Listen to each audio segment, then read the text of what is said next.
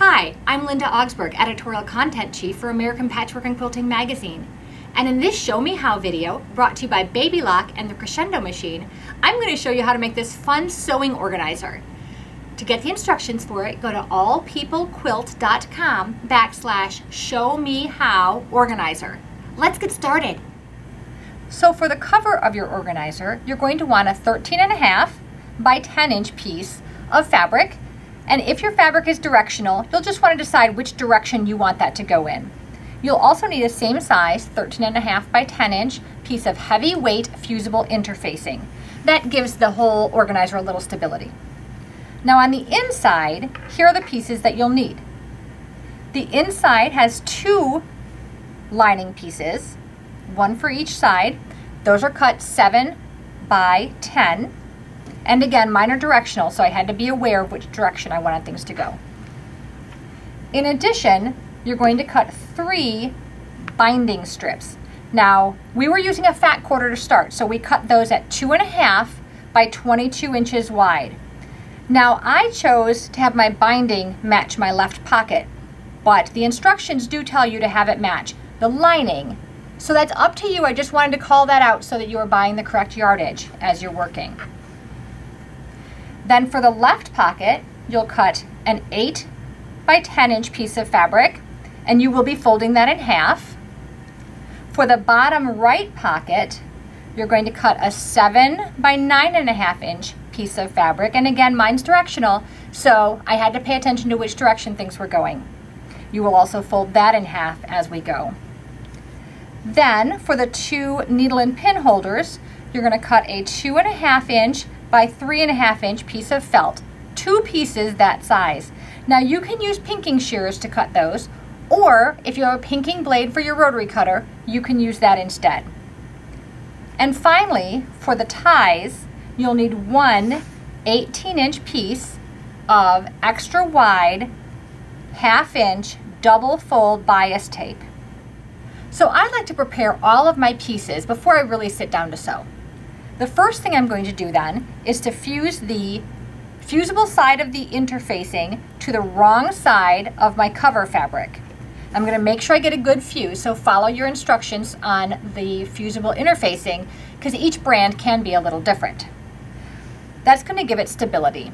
Next, I'm going to take my 8 by 10 left pocket piece, fold that in half so it's 4 by 10, and place it on my left lining piece, lining up these three outer edges. The fold should be toward the inside.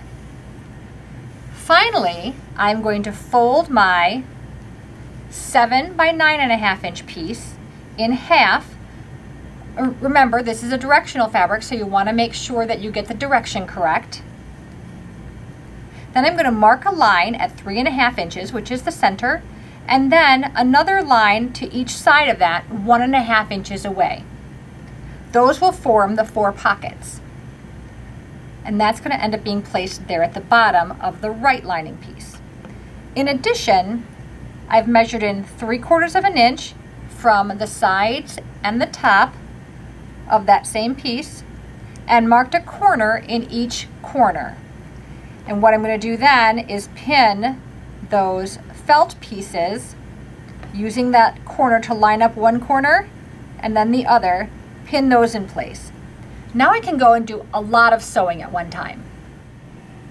So I'm going to baste the pocket to the left lining piece. I'm going to baste along the bottom edge, the side edge, and then the top edge. Now some machines have a basting stitch or a basting setting where the machine will feed and you'll get every so often it'll take a stitch.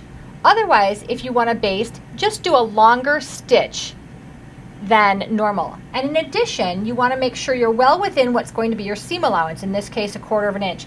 So I'm going to make sure I'm either a scant quarter or even an eighth of an inch from the edge. That way I can be sure that that basting stitch won't show later.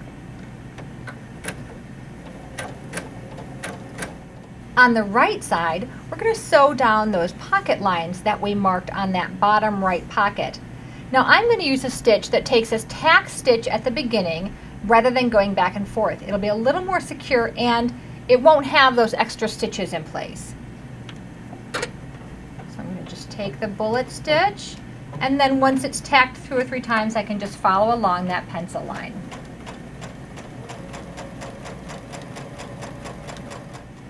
In the same way, I'm going to start with that tack stitch or bullet stitch and sew just along the top edge of each felt rectangle. So now that you've sewn down the felt pieces in the pocket, you're going to sew the two lining pieces together with a quarter inch seam and you'll have your lining. You can see now why we did that in two pieces.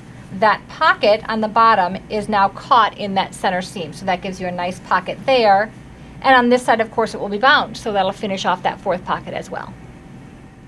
So you're going to pin the lining to the cover, wrong sides together, and just sew right in that seam, like stitching in the ditch on a quilt, just to secure those two pieces together. Next, you're going to sew a seam along that open edge of the bias tape. Then cut the bias tape into two 9-inch pieces and center them along the long edges on the left and right side, right at that 5-inch mark. Go ahead and baste or sew those in place, again staying inside that quarter inch seam allowance so it won't show when the binding's done. Do that on both the left side and the right side, and then we're ready to bind.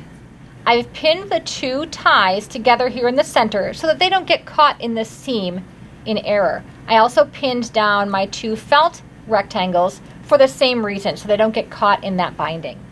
When you attach the binding, I like to start with this project on the back edge, so this lower right pocket.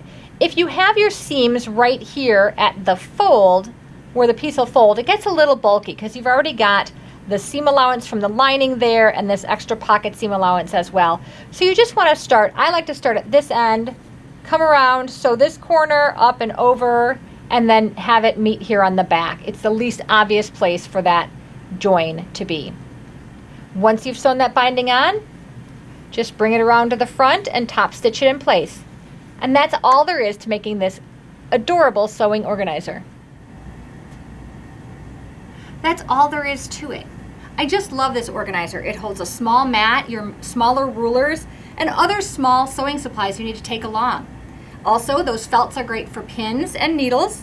And once you just fold it in half and tie the bias tape in a bow, you're ready to take it to any class or any other sewing session you're going to.